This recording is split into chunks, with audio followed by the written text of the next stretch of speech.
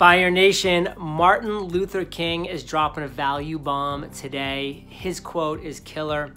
Our lives begin to end the day we become silent on things that matter. Martin Luther King was not silent about things that mattered, Fire Nation. And guess what? You can't be either. Now, that doesn't mean you're taking up some unbelievably incredible, audacious cause or goal, whatever it might be.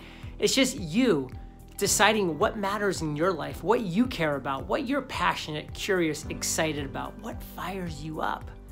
Those things matter to you, Fire Nation. Those things matter to you. So the day you begin to stop caring about those things, start working towards those things, or start progressing towards the realization of those goals, that's the day your life begins to end. Or the day that you become silent about vocalizing wanting that, don't don't do it, Fire Nation.